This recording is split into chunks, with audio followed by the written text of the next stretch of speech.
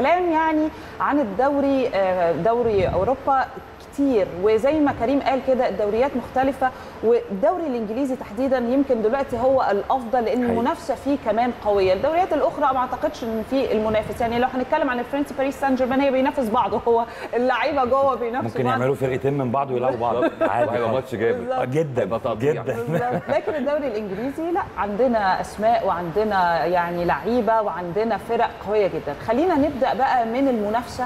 وبتشوف إزاي المنافسة ولو هنقارن ده بالدوري عندنا برضو لأن دي نقطة تحتاج للمقارنة.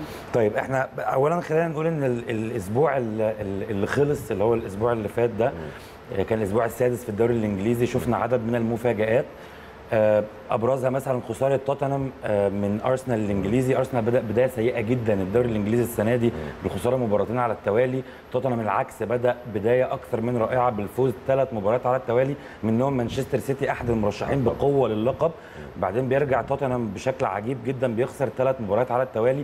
وده by the way دي أول مرة آه، آه، توتنهام أول فرقة تكسب آه، أول ثلاث ماتشات وتخسر تاني ثلاث ماتشات من سنة 94 اللي عملها كان فريق إيفرتون وساعتها احتل المركز ال 17 فده بي بينذر آه، آه،. توتنهام بكارثة وشيكة في جدول ترتيب الدوري.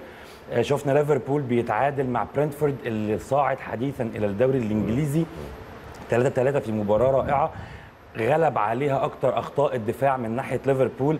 غلب عليها آه، أداء مميز جدا من حارس برنتفورد وأداء مميز جدا من محمد صلاح. by the way بنبارك محمد صلاح دخوله نادي ال100 مع طبعا. ليفربول فقط في الدوري. الإنجليزي.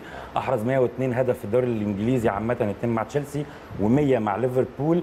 آه، كان دلوقتي هو بيتشارك آه، قمة هدافين الدوري مع جيمي فاردي ومع ومع ميكائيل أنطونيو لاعب ويست هام. آه، بخمس أهداف لكل منهم. أيوة. محمد صلاح هو ثالث أكتر لاعب في الدوري الإنجليزي مشاركة في الأهداف.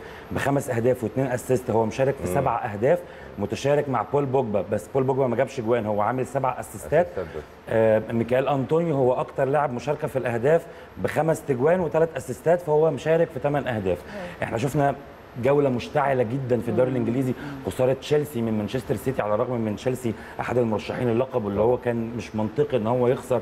لتكامل ال squad ووجود توماس توخل اللي هو المدير الفني العبقري آه بيخسر من مانشستر سيتي 1-0 وبيخسر فرصته إن هو يواصل تصدر آه، جدول الترتيب بينزل عشان يتشارك المركز الثاني مع آه، مانشستر يونايتد ومع إيفرتون وليفربول بيحتل لوحده دلوقتي آه، ومع مانشستر سيتي.